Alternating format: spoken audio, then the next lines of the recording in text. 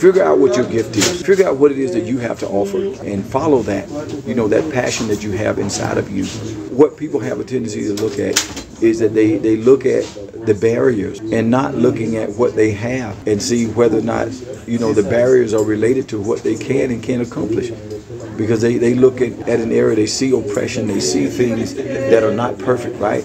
And so in their minds, they, they come to this place to where they said, I can't do this because of these things, right? But they don't understand what they can do. Why? Because they never applied themselves or made that effort to say, what can I do? You can always do something. There are people achieving every day, even in Chad, right? Right. There are people against the odds, right? And so the bottom line is, is that if you have to work harder, you work harder. If you have to do more, you do more, right?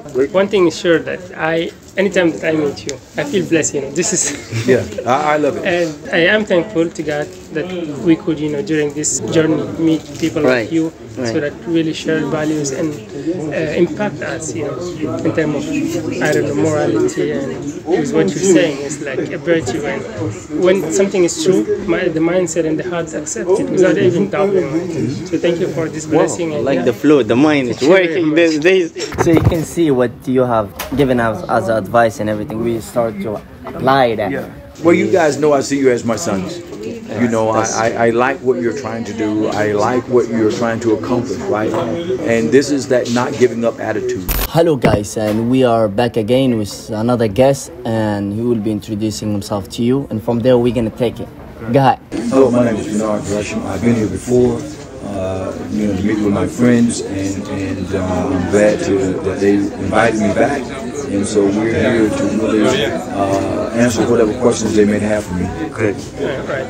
Uh, Uncle Bernard, I'm really happy to have you as always. As always, we're really happy to have you. And my first question goes like this: How you know uh, there are different people, and everyone has his own version of how defining Independence Day means example. So, what do you think, uh, from your perspective, what is Independence Day for you or for an American? I think for an American, uh, it, it's having the freedom to make decisions that you think is best for your life. Right? And everyone sees this day differently, depending on where you where you were born, depending on where you were brought up, depending on your life experience. But what independence does mean is that it's, it's upon you.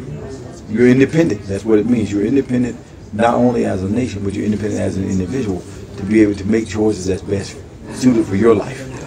Uh, that's a very good uh, answer, and I just want to know. A lot of people don't know that America had been colonized or was colonized. So can you tell people like about this colonization, what happened in that period of time? Well, originally it was a British colony, you know, and through you know through taxation and and, and other things, you know, Americans, you know, the, the citizens looked at it and said this was too much, right? And they rebelled, you know, against uh, uh, what they considered to be oppression, right? Uh, and so they fought for their independence, you know, to be free from from from Britain, right? From the United, from what now is the United Kingdom, and so for Americans, that that that means a lot to them. You know, the freedom to make your own choices. That's what it's all about. You know, freedom as a nation to be able to do what's best for you as a nation, and and not have someone dictate to you how they want you to conduct yourself. Uh, that is that is American, and that's what Americans. Uh, uh, that's what they enjoy, and that is what they espouse. You know, uh, politically. You know, for other countries. You know, to seek. You know, the, the, the opportunities to, to live the best life that you possibly can, right? And that's what independence does. It allows you to, you know, like a child being independent from their parent, right? Being able to make the decision that's best suited for them, you know, based on who they are. And as a country, that's what they were trying to say. You know, we don't like the way that things are done by uh, uh, Britain, and we want to do it our own way. So very good. Well, one thing that I've been thinking about since this morning is uh, being colonized back in a, back in a year or back in the day, and getting your freedom, and then now you are the most powerful country on the earth. How how, how it takes to, to process all this. Well, I, I think what for America is this work ethic. You know, this this work ethic. You know, to try to be the best at everything, uh, and you can look across the spectrum from science to engineering to tech, you know, all the technology to sports to everything. America strives to be the best at everything. And they're around, they're at the tops of almost everything you can think about. Why? Because we like competition. And you know, and, and we like to be able to compete against one another. We like to be able to, you know, uh, to applaud those who achieve, you know, against the odds. You know, that is what we, you know, that is who we are, you know, as a country.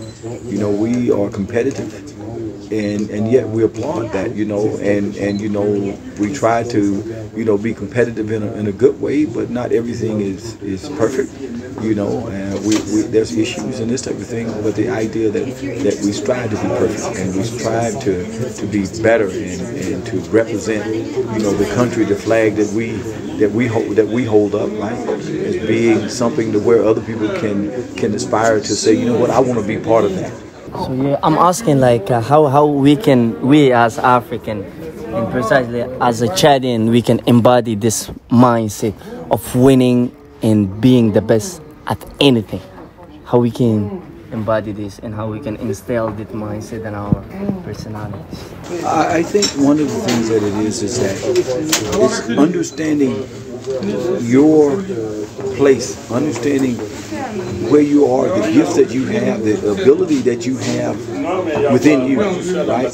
Being able to take what's available to you and build upon that. Not looking at something that you don't have and wishing you had that, but looking at what you do have and figure out how can I use that to the best of my ability? How can I take this thing and catapult me to something greater? Right. Right? Rather than saying, looking at it and say, I wish I had that, I wish I had this, right? You can only work with what you got. Right. Right? And so I think missing the opportunity to work with what you got is part of the problem because people are looking too far ahead, right? Rather than looking at, at where they really are and, and, and taking stock of that and say, okay, how can I use this thing to get me to where I want to go? Very nice, very nice. I'm running out of questions. I don't have any questions. Okay, uh, one last thing for our follower and one last advice for the Chadian in general. Well, I, I think what I've always offered and what I try to to offer to everyone, particularly young people, is figure out what your gift is. Figure out what it is that you have to offer, and and and and follow that. You know that passion that you have inside of you. Uh, you, what people have a tendency to look at is that they they look at the barriers, right, and not looking at what they have and see whether or not you know the barriers are related to what they can and can't accomplish because they, they look at uh, at an area they see oppression they see things that are not perfect right? And so in their minds they, they come to this this this this this place to where they said I can't do this because of these things right? But they don't understand what they can do. Why? Because they never applied themselves or made that effort to say what can I do you know, because you can always do something. There are people achieving every day, even in Chad, right? Right. There are people against the odds, right? And so the, the, the bottom line is is that you have to, if you have to work harder, you work harder. You know, if you have to do more, you do more, right? And and you know, it's it's not necessarily the place that you arrive at, but it's the journey that you go along, right? That is where you reap the benefits of, of what's available in life and this type of thing. So you have to take the challenges as they come, right? Uh, no one said that everything was going to be easy. Right. No one said that it was going to be equal, right? But but one thing about it is is that if you apply yourself, right, it can be beneficial, Right. you know. Or you can lay down, you know, you got a choice, right? Either either push or lay down.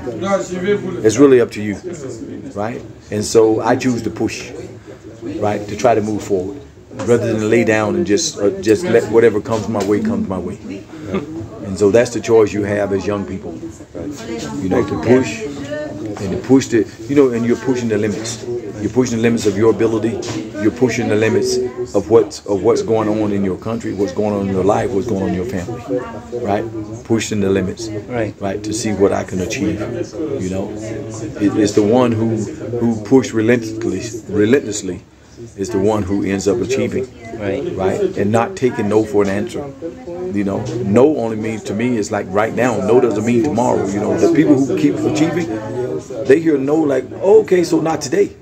Next But doesn't mean that tomorrow, right? So tomorrow come back again because I'm persevering. Right. What a Right. mindset. Okay. Very good. This is a blessing anytime. Any last word from you guys? Yeah, if they like videos like that, guests like this, they have to share, comment, and like, right? So keep pushing and keep working on your work ethic and enhance your ability of saying no. No to me means N is next, and Yes. O is opportunity. That's right. So you see that? Yeah. Next so, opportunity. you know, I just, Yeah, I next wanna, opportunity. The just, next opportunity. I yes. just want to make a comment. You know, uh, one thing is sure that I, anytime that I meet you, I feel blessed. You know, this is, Yeah, I, I love it. and and and you know, I am thankful to God that we could, you know, during this uh, journey meet people Right, like you, so that really share values and uh, impact us. You know, in terms of I don't know morality and because what you're saying is like a virtue. And when something is true, my, the mindset and the heart accept it without even doubting. it. So thank you for this blessing. and like yeah. the flow, the mind is Thank you very working these days. So you can see what you have given us as advice and everything. We start to Yeah. Well, you guys know I see you as my sons.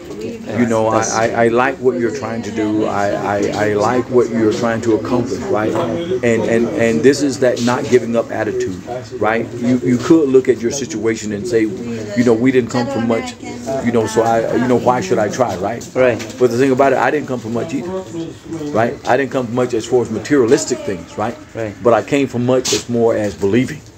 You know, so I came from people who believed in a better future. I came from people who believed that things were possible. Yes, Right? can I Amen? just- So, so this is what I'm looking at, right? The drive, the push, the motivation, right? That's where I came from. And so the same thing with you guys. You can't look at where you came from.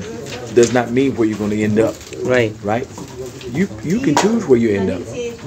You know, giving up is, you know, when you look at it, say, for me, giving up is not an option, right? There's there's things on the table, but giving up is not one of them. Right. you know? So I'm, I'm unrelenting right? And and and just like you know years ago when i was in the military you know uh, uh, retreating does not mean i quit. Retreating mean i'm regrouping. Regrouping, yeah. i'm regrouping and i'm coming back. Right. you see and this is what you have to do. You have a you have a setback. If you learn something from a setback then that means you didn't lose Right. right a setback could be a setup for something else Right. you see, so that's what I look at it. So you guys have that same thing inside of you, and I just encourage you to keep going forward. You know, no matter what people say, no matter what people think, right? Because their opinion only matters if you allow it to matter, mm-hmm. Right. right? But belief in yourself is what matters. Knowing that you're on to something, knowing that you can accomplish something, that is what you guys should focus on. And I applaud you for that because I know that you're on to something. I can feel that you're on to something, and more people need to get on board, right? Right. More people need to get on board and understand that you can achieve against the odds. Right. I'm living proof Right. that you can go places. No matter what someone you know what someone else say, because why? Because they don't choose my destiny.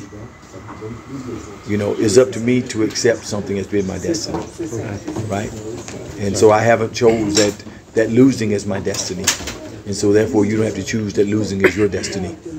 You can call me a loser, but that doesn't make me a loser. Right. It's what I believe. Right.